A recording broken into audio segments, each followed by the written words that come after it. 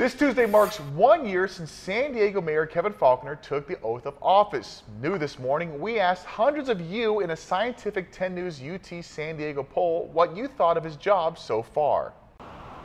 635 San Diegans were asked the same set of questions about Mayor Kevin Faulconer. Political analyst Laura Fink says the survey as a whole looks good for the mayor. You want me to stop that?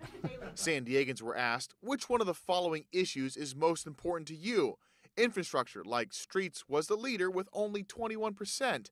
Topics like the city budget, economic growth, and a new stadium were close behind. The snapshot shows that there's no singular issue that voters are rallying around and that they care about. Fink says that's good and bad for the mayor. He could lose a chunk of support if he fails at any one thing. Top of mind right now, the Charger Stadium.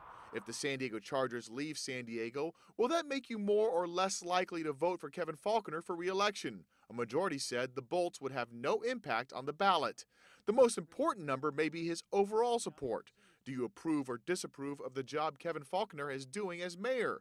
61% gave him a thumbs up. I think that it shows that San Diegans feel that their city is doing better. It means that whatever his agenda is moving forward, he has uh, the voters behind him thus far. Maybe one of the harder questions to answer where would you rank Kevin Faulconer among the most recent mayors, Bob Filner, Jerry Sanders, and Dick Murphy? We had a lot of problems with the, with the past mayor. 22% say he's the best, but 35% think he's the second best. Oddly enough, 5% say even disgraced Bob Filner was a better mayor. Yes, the answer is yes. For Fink, this survey left more questions than answers. I'd like to know obviously, Kevin Faulconer right now has broad support, but what is the depth of that support and what, do the, what issues do voters care about most?